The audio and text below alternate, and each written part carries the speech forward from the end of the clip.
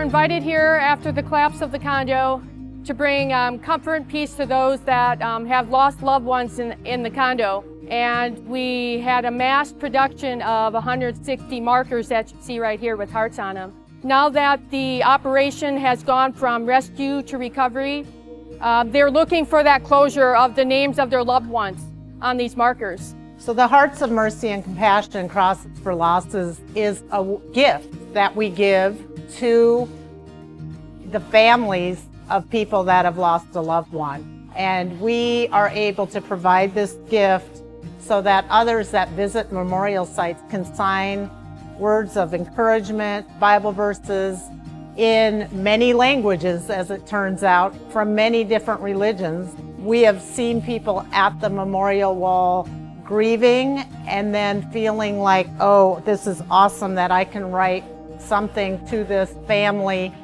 and I can leave my handprint on this marker. This whole process has really been a labor of love for me. Every time I put a name on one of these hearts, it hits me.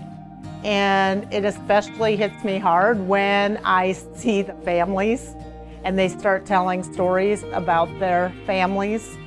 And then they really come to life.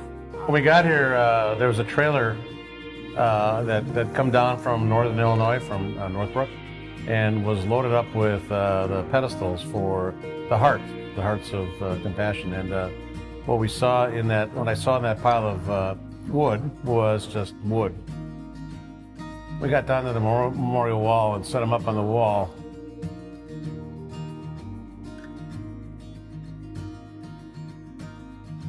The wood came alive.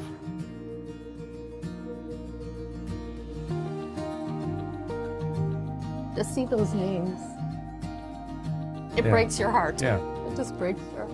And so while the wood was there in the trailer and when the construction, when our team put it together, thank you, the team, for doing that. When they put them together, we transported them, we got them in and out a couple times.